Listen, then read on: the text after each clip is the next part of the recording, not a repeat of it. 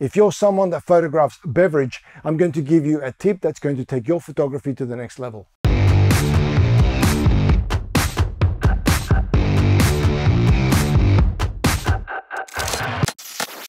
Hey everyone and welcome back to the channel. And if this is your first time here, my name is Dan Quintero and I'm a commercial photographer based in Sydney.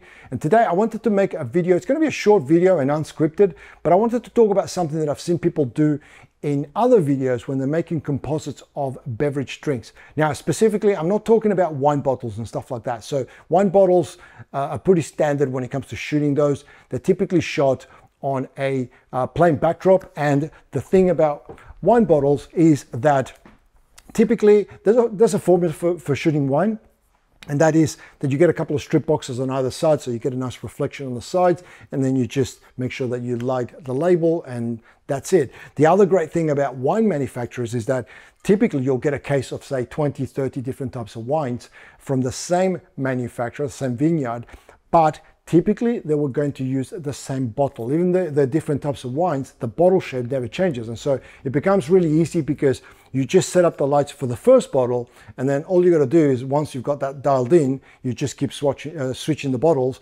and you can just go through 30 shots of three uh, of different wines and you can do that very quickly. But when it comes to spirits, um, it's a little bit different because typically with spirits, they're not marketed, they're not advertised in the same way as they are with wine. There's a more, lot more production and usually there's a little bit of a set built around a spirit or sometimes they will ask you to shoot things in location. Now, shooting things in location can be a little bit tricky. You, uh, you need to organize things such as uh, permits and you just, um, it just, it just becomes more complicated. And so a lot of the time that is why we go to composites. Now, when we are photographing all the different parts, all the different components for the composites later on, we need to make sure that we work on the backdrop first. Typically what people will do is they will shoot the bottle first and then work out what the backdrop is. And what I'm going to suggest to you is that you go the other way around. Find out what your backdrop is going to be and then lock that in. Once you know what your backdrop is, it's going to make things a lot easier. Plus, when you are lighting your bottle, the lighting for the bottle is going to be heavily influenced depending on the backdrop. So in this case, uh, the photograph that I've got on screen at the moment, you can see that it's sort of dim lighting. It's a, it's a, a bar that's very dim and it's kind of a warm, there's a warm tone to it. And so that's going to uh, influence the lighting on the bottle. It's not going to be very bright. It's going to be a little bit warmer and so forth. So you need to make sure that you know that you know what the backdrop is going to be like. And this is uh, across different composites, by the way. If you're shooting uh, a model uh, and you're going to be doing a composite, you always shoot the backdrop first because you can't influence to a certain degree, well, most of the time, you cannot influence what the backdrop is going to be. If you're shooting something outside, you can't control the sun. So what you can do though is once you have the photograph, then you can simulate that lighting in the studio so that it matches the backdrop. Hope that that makes sense. Now, one of the biggest things that you need to account for though is when you're shooting uh, a spirit bottle, such as this one here, is that the bottle typically is going to be transparent. So you're going to be able to see the backdrop through the bottle. And that, create, that creates a little bit of a challenge.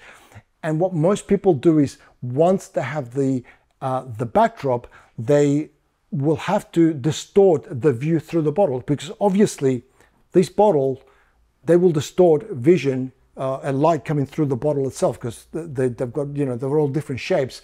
And depending on the shape of the bottle, you're going to have to distort it in different ways. And most people will do this inside of Photoshop using something like the Liquify tool. The thing is that even though you're distorting the image, you don't actually know what the image would look like in real life. And so trying to simulate that uh, sometimes it just doesn't come across as real. So the one thing that I'm going to suggest that you do is that when you have your backdrop locked in and you know what that backdrop is going to be, that when you shoot the photograph, that you make a large printout of the backdrop, such as this one. Now this is the, te the technique that I used for the image that I showed you earlier, the one that I've got on the thumbnail. Um, so you can see that the backdrop is not really, I mean, it's, it's not, um, it, it's just the backdrop of a bar here, okay? Now, this goes behind the bottle when I'm shooting the bottle. So I will light the bottle, which will naturally light the background, and you're going to be able to see that through the bottle. Now, something to keep in mind is that when you are doing this, and this works really well, you can also have uh, transparencies that are much more expensive, um, where it's a sort of transparency, and then you have a soft box behind it, lighting it through the transparency. But honestly, you can get away with something like this, and the uh, you can almost, I think it's just as good, to be honest. Um, now, the one thing that you need to remember is that when you are photographing the backdrop, let me just get it so that you don't get a reflection. You can see it there. You can see that this photograph was taken out of focus. And that's obviously deliberate because when you are doing the composite, the backdrop is supposed to be out of focus. And so what I do is I make sure that I get um, some in focus shots of the same, of the same uh, backdrop, but then I gradually get it more and more out of focus so that I get different types of, uh, of uh, bokeh sizes that I can then play around with uh, when I'm doing it in post. You can do this in post. So you can do things like a Gaussian blur in Photoshop, but it never quite looks as real as it does when you do it the, the real way.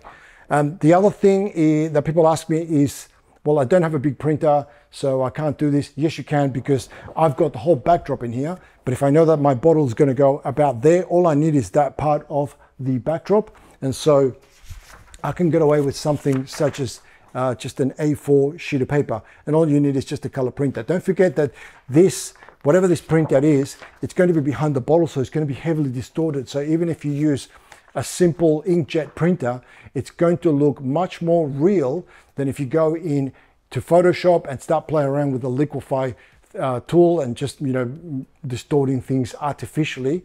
Uh, it's never going to look as good as the real thing. So anyway, look, that is something that I have found that's made a huge difference and it saved me time as well. That's probably a good 40 minutes of saving um, without having to go in and, and doing that distortion manually.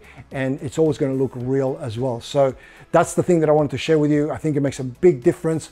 Hopefully that is something that you can introduce into your process. And um, if you do and, uh, and you enjoyed this video, please don't forget to give the video a like. And if you haven't subscribed to the channel, consider doing so because I make videos like this every week to help you with your photography. And so if you don't want to miss out on any of those, click the subscribe button and the notification bell and that way you'll be notified when I upload a new video. And if you have any questions, also make sure to leave them in the comment section below.